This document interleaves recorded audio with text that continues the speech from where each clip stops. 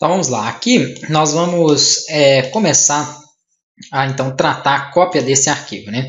Eu faço aqui o upload do arquivo e por enquanto eu tirei aquela informação dele fazer o upload automático, então já é só para poder explicar melhor aqui. E eu tenho que gerar um nome para esse arquivo para poder ir salvando ele a cada vez dentro de uma pasta específica, para não correr o risco também de um arquivo substituir o outro lá. Então o que, que eu vou fazer? Eu vou utilizar a chave primária ou código do produto como nome da foto, o nome da imagem. Então, dessa forma, como vai ser uma imagem para o produto, vai dar certo. Só que o primeiro problema que a gente vai encontrar né, é o seguinte: eu não tenho ainda, quando eu clico em novo, eu não tenho o produto feito ainda, eu não tenho uma chave primária gerada para ele. Só após eu clicar em salvar, que ele vai salvar o produto e vai gerar o código dele, ou seja, a chave primária. Então, vou ter que pedir para ele, depois que ele salvar, um retorno desse código para me aplicar na minha imagem. Para fazer isso aí, nós vamos precisar vir aqui dentro do, do meu produto down. Deixa eu só apagar essas duas últimas linhas aqui, ó, que foi somente para poder buscar o caminho ali, né? Elas não fazem parte do método, era só para poder explicar mesmo. E vamos abrir aqui o nosso produto DAO. Na camada DAO, ou melhor, vamos abrir o generic, né? Que é onde tem aí todos os, os códigos. Dentro do genérico, se você olhar no produto DAO, vou abrir ele também, produto DAO, ele pega a função salvar, produto DAO não, que vacilo, produto bin.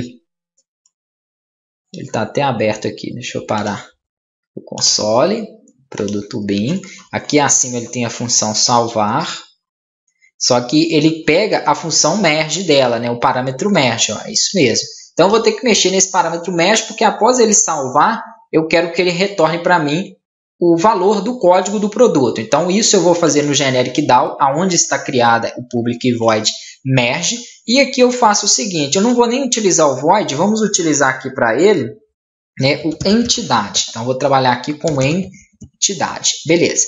E vou então fazer o seguinte, aqui na hora que ele dá um, um session, né, né, do tipo aqui sessão e fazer essa gerar essa fábrica de sessão para mim, vou manter da mesma forma. Aqui ele está dando essa informação porque ele vai solicitar um retorno disso aqui, tá? Já nós já vamos fazer.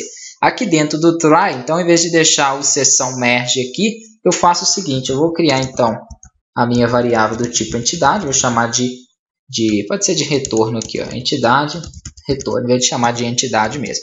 E aqui eu passo ela né, para que ele possa trabalhar. Então, entidade, e ali ele continua, sessão.merge, né, entidade ele vai ficar guardando esse retorno. Aonde que ele vai receber esse, esse retorno? Pode ser aqui, ó, antes de sair do meu try. Então, return, retorno. Então, essa variável de retorno, ela vai servir para guardar a informação aí que foi salva, ou seja, os valores ali salvos. Então, depois eu posso buscar aí né, o meu método é, do código, por exemplo, posso buscar meu set código, o set descrição, todos aqueles através desse retorno. Ele fica com esse amarelo aqui, se você passar o mouse e pedir para ele adicionar o suppress warning, ele vai adicionar aqui acima então o suppress warning e vai deixar aí, né, ele sem essa informação ali. Não é, não é erro, né? lembrando que é só uma mensagem mesmo, uma exibição.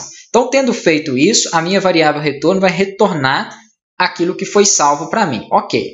Tendo isso, então, eu posso voltar aqui no meu produto bin e dentro da minha função salvar, eu vou fazer aqui uma alteração. Né? Eu tenho aqui o meu produto DAO.merge. Eu vou fazer aqui então o seguinte, ele vai, em vez de pegar o, pegar o produto DAO.merge direto aqui, eu passo isso para uma variável. Então, vou pegar a classe produto né? e aqui eu vou criar uma variável chamada produto retorno e ela vai retornar para mim as informações aí, então que foram salvas, né, através do produto .merge.